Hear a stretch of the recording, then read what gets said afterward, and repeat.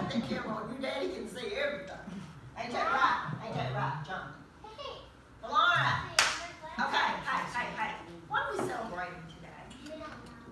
We don't know. Yes, you do.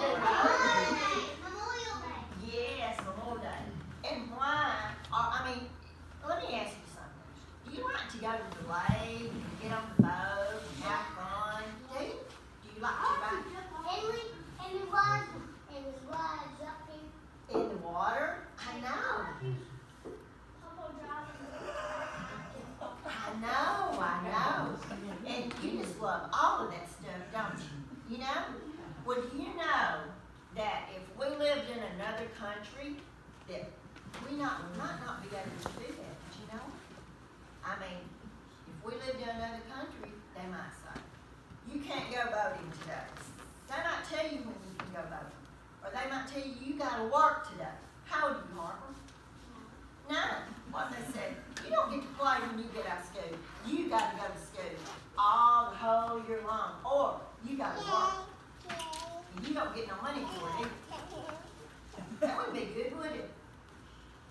Well, you know what we're celebrating today. And you like to go to McDonald's and all that kind of stuff. What if you do that? You do what you want to now, don't you? Because it's a free country. We live in a free country that we can do basically what we want to. Of course, your mom and daddy's got to tell you what to do, right? But who helps them? Who? That's right. And so when they whip you, what did baby tell you to tell them? Thank you for whipping me because you're taking care of me, right? And me, Bobby. I know, I know.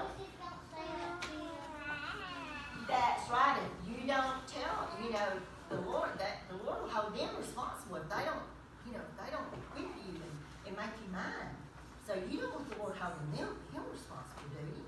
No. So every time he whips you, he really don't want to, but you say, Thank you, Daddy, because I know I needed that night. You know, I know you're doing what the Lord wants you to do. But anyway, other than that, we get to do what we want to, right? We get to basically do what we want to. But if you lived in a different country, you might not be able to do stuff like that. And all, and the reason that we have the freedom that we have, and we celebrate Memorial Day, is we are remembering all of those people that gave their life fighting for us so that we can enjoy the things that we love to do, okay? So when you're out there playing and having a good time in that water and doing, y'all are celebrating eating them hamburgers and hot dogs and having a big time, you remember that all those people gave their lives so that we could enjoy that, okay? They gave their lives free.